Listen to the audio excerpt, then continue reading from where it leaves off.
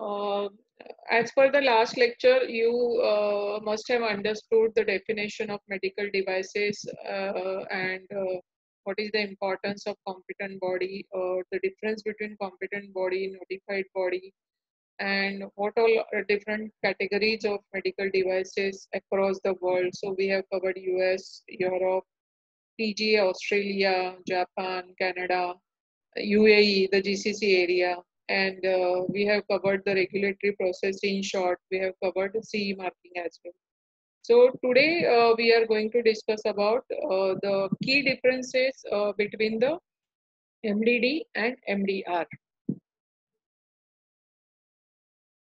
So what is MDD? First try to understand what is MDD and what is MDR. So EU uh, in Europe, it has established the medical device regulation and in vitro diagnostic regulation. Medical device regulation means MDR and in, in vitro diagnostic regulations means IVDR. So these MDD and uh, MD, IVDR and MDR is a replacement to previously MDD and IVDD. So D means it is nothing but it is a directives. So MDR is a, a new regulation and earlier it was uh, called as a directive. So the difference is MDD to MDR. So the differences is it's applicable in both the cases like medical devices and in vitro diagnostics. That is why it is called MDR and IVDR. So the MDR is significantly more comprehensive and detailed compared to the MDD. Uh, how it is uh, uh, differ from MDD to MDR? So the previously, uh, which is 25 years old uh, regulation, what we are using in the medical device industry, uh, which is called MDD, which, which was comprising 23 articles and 12 annexes, and it was over uh, about 60 pages. Whereas the new MDR, which is uh, published recently, which has 123 article and 17 annexes, and uh, that comprises of 175 pages. So you could see uh, there are huge changes between you know 60 pages to 175 pages and 12 annexes to 17 annexes and 23 articles to 123 articles. So Europe's new medical devices regulations will bring significant regulatory changes that may impact multiple business units within your organization. So uh, what is meant by surgically invasive device? Surgically invasive device means an invasive device which penetrates inside the body through the surface of the body, including through mucous membranes of the orifice with the aid or in the context of a surgical operation as per Annex 8.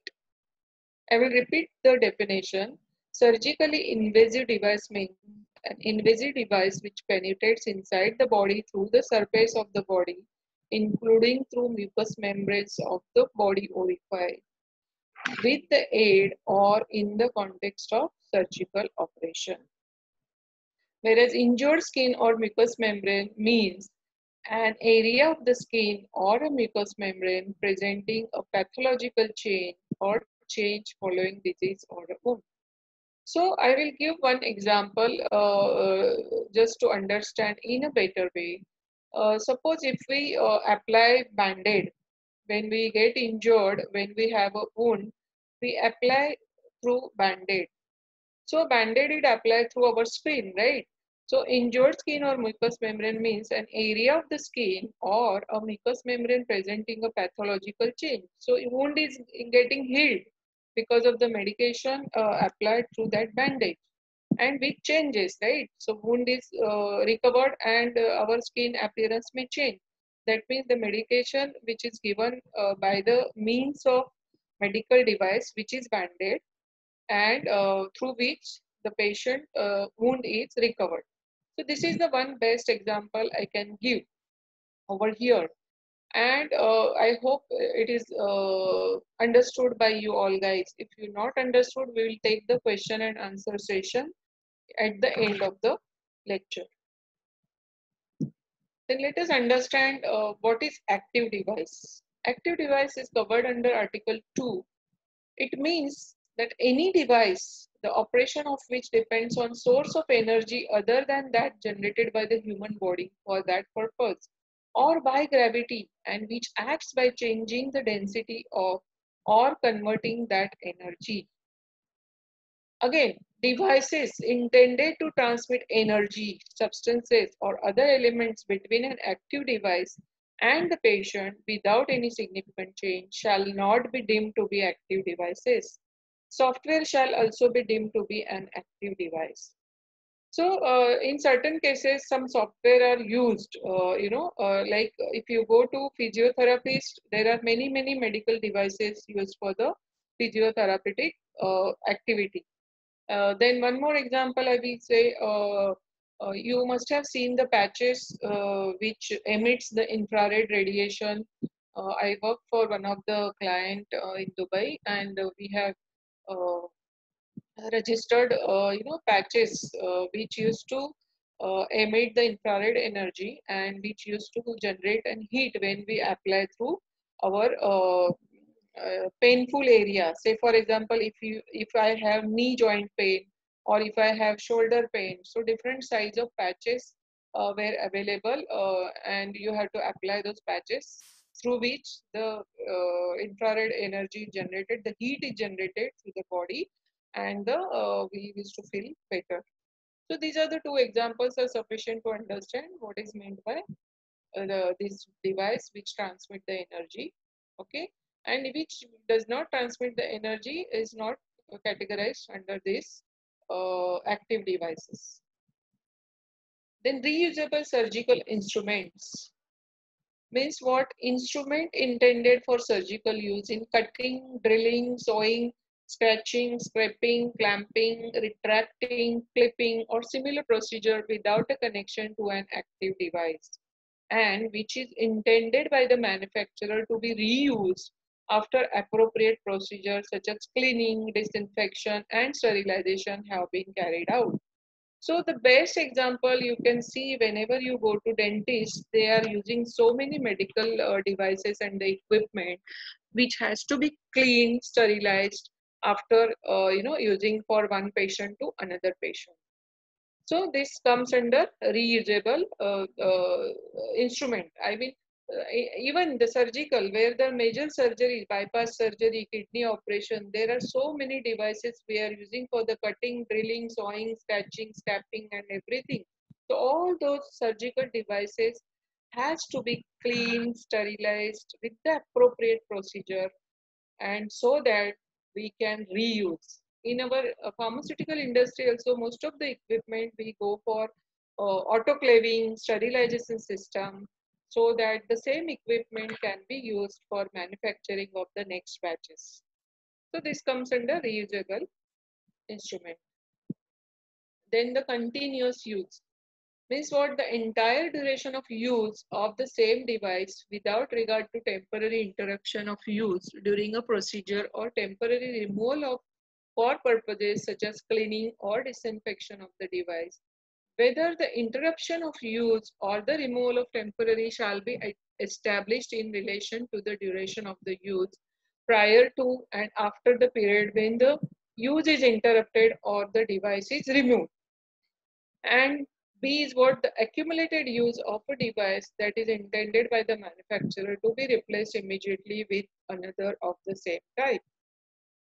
Here I could give the example of pacemaker, which is placed uh, for the heart functioning and uh, which has, uh, I think, uh, stability for five years. And after five years, we have to use, replace that uh, pacemaker. So the patient uh, should have, uh, you know, uh, the doctor and the manufacturer and the patient should have all the history, all the data when it was placed uh, in your body, you know, the, and the date of manufacture of that pacemaker, then the expiry. So before expiry, the patient has to be admitted and replaced with the uh, that pacemaker, or at least it should be cleaned, sterilized, and uh, we can reuse it if it has to be continuously used. So uh, uh, this is pretty clear, uh, the definition and the meaning of each definition is given under each section. Then direct diagnosis. A device is considered to allow direct diagnosis when it provides the diagnosis of the disease or condition in question by itself or when it provides decisive information for the diagnosis. Direct diagnosis is very, very important uh, because which which should give the perfect result. Now, uh, in COVID uh, cases, like you must have heard about rapid kit. Rapid kit is used to diagnose the COVID patient whether he is positive or negative. Then there are so many uh, diagnostic kits are available. Example, uh, Prega kit, which is used for the pregnancy test. So you have to just put two, three drops of urine and it will give the result. So these, these are the equipment or the diagnostic kit which are available in the market. Then implantable device. Implantable device covered under Article 2.5 that means any device, including those that are partially or wholly absorbed, which is intended or to be totally introduced into the human body or to replace an epithelial surface or the surface of the eye by clinical intervention and which is intended to remain in place after the procedure. Any device intended to be partially introduced into the human body by clinical intervention and intended to remain in place after the procedure for at least 30 days shall also be deemed to be an implantable device. So what does it mean? Implantable device means which is implanted in our body.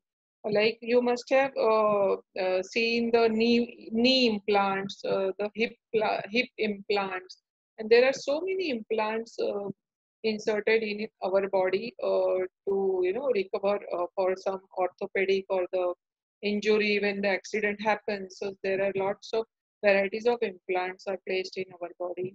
So this will come under implantable device and there are devices which are used only for the at least for the 30 days will also come under the implantable device that is the meaning of this de definition then uh, we have to discuss about the 13 major changes from MDD to MDR. Let us talk about the first. The MDR is four times longer and contain five more annexes than the MDR. So in the first slide itself, I have uh, told you what is the difference. The MDD, the old one is of you know 60 pages, whereas this is 175 pages. Then there are annexure. So uh, uh, you have to understand that there are lots of changes uh, uh as compared to MDD when we compare with the new MDR. So the word safety appears 290 times in the MDR and MDD by comparison uses it only 40 times. So what is the meaning of this word safety appears? That means they have focused more onto safety parameters. So the whole industry, whether it is a pharma industry, whether it is a medical device industry or food industry, we have to, uh, you know, trust on the safety parameters, which is very, very important because all these, wherever we are working in pharma, uh, food, OTC or medical devices, safety is the major concern because all human beings are using these products. So uh, that is a major difference what we observed uh, when we talk about the difference between MDD to MDR and it is appeared 290 times the C. Then significant changes in wording used in the new law will require companies to rationalize their portfolios and perform a global impact assessment in order to implement the necessary changes to remain compliant now you must be uh, having, suppose XYZ company is having MDD already in place and they are selling 100 products into the market.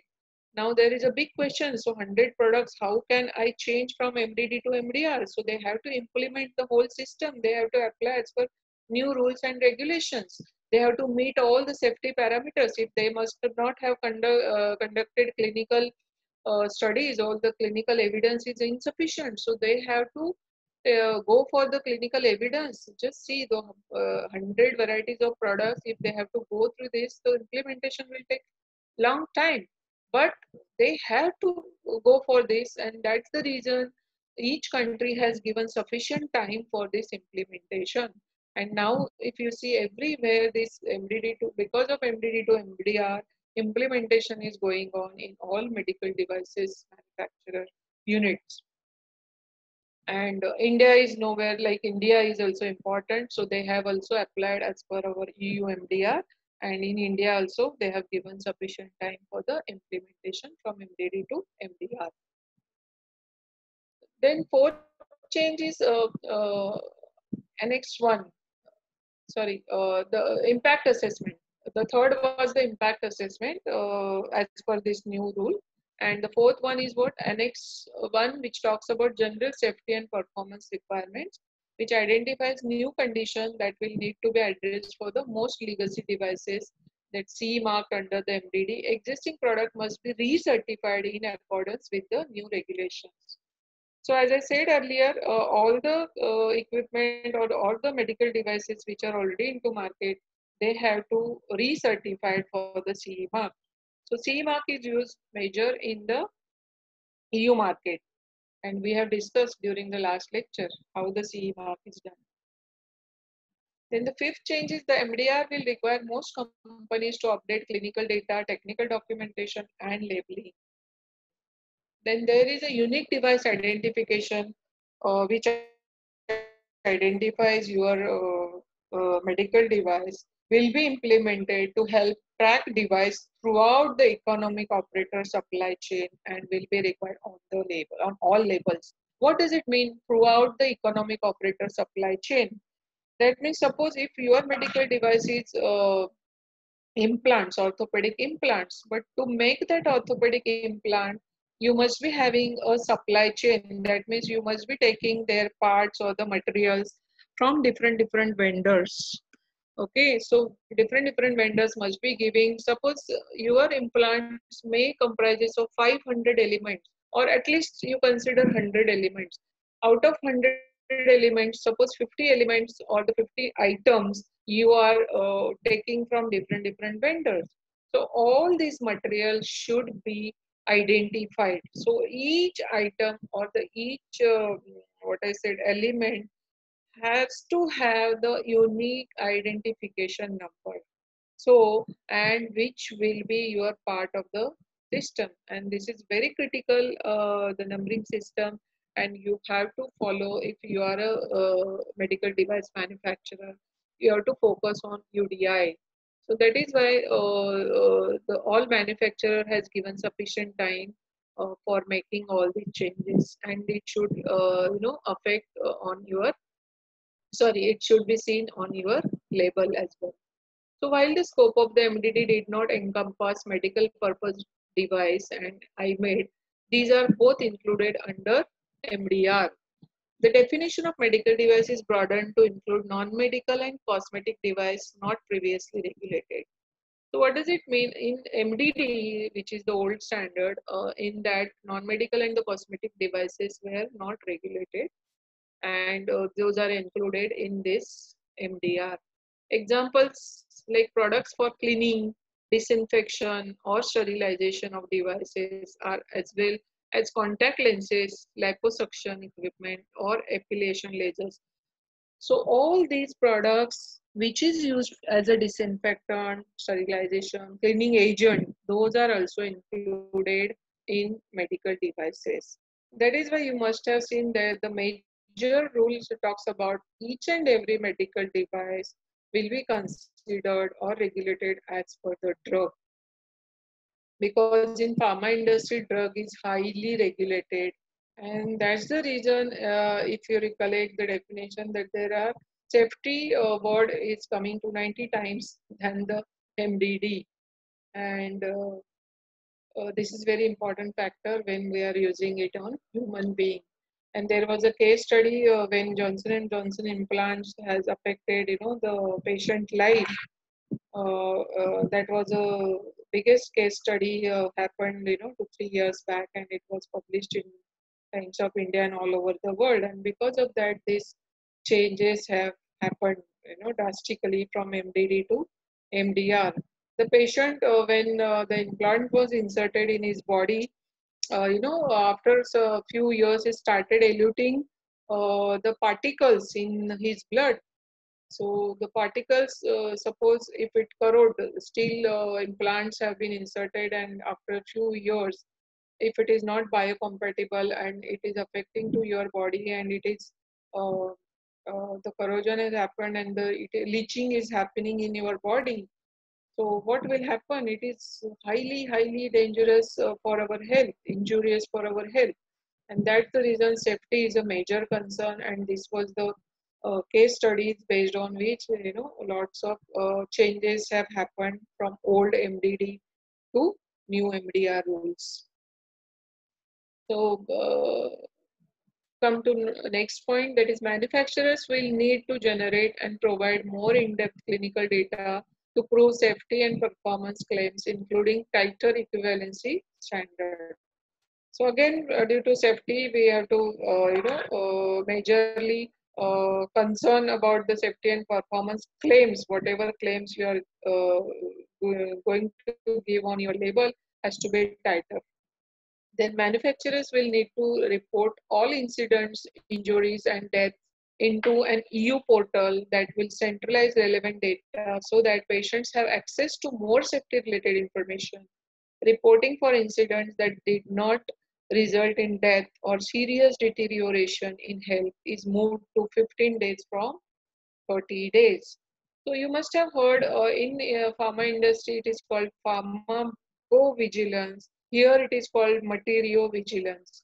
So whatever um, injury happens or death happens, everything uh, is you know uh, recorded and updated on EU portal and uh, all the updated guidelines related to safety information uh, you will find on EU portal. And if it there is a serious death or any uh, uh serious deterioration happens uh, in health, then it is moved from 15 days to 30 days. And the patient should have access to that portal uh, so that patient uh, himself will uh, you know take care of all such things. If patient himself is not aware of that there is a rule that you know we can lodge the complaint or we can inform to health authority that such things are happening in my body after insertion then uh, the patient and the you know when the uh, implant are inserted into his body the doctors the healthcare professionals should train or tell or suggest him that whatever happens in your body whatever changes you have to intimate us immediately. And that's how the you know uh, safety is taken care of. So then the companies undergoing transition will need to revisit core processes including the quality assurance risk management and post marketing expectations. So these will require careful review planning and updating to re-implement in compliance with the new requirement. So simple, uh, you have to establish the uh, very good system in your company uh, for you know updating database. Then uh, your quality assurance department should be uh, very good to assess the risk. So the risk uh, should be assessed, the risk